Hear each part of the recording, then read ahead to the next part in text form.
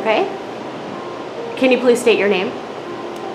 Do you want me to say it in English or in You can do whatever you're comfortable with. Ho chunk introduction. Okay. Uh, Hinikaragi, Makite Raja, Heron Hargreavesga, Egi Ho-Chunk Raja, Wirage Piwinga, Hingaidena. Um, I greet you. My English name is Heron Hargreaves and my Ho-Chunk name is Wirage Piwinga.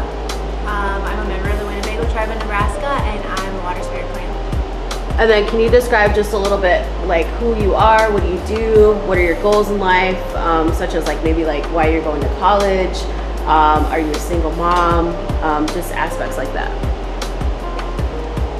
Um, I'm a single mom to a three-year-old um, daughter. I'm currently enrolled in school full-time here at Little Creek Tribal College, and I also work as a bartender. Um, I'm currently pursuing my associate's degree in Native Studies, and from here I'm gonna continue my education at Haskell Indian Nations University and um, pursue my bachelor's in Native Studies as well. There's three or four reservations in Iowa, and there are over 16,000 Native people in Iowa, so um, Iowa was the home to many First Nations, but many of those nations were forcibly removed due to colonization. As a result, Iowa has a small percentage of the Native American population. Do you feel that it is important to vote despite having such a small population of Native Americans in Iowa? Why or why not? I think that voting um, not only is really important, but it's also our responsibility.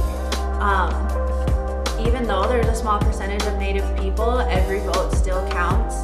Um, I think everyone should still vote and have their voice heard because not only is it their right, it's also, I believe, a responsibility.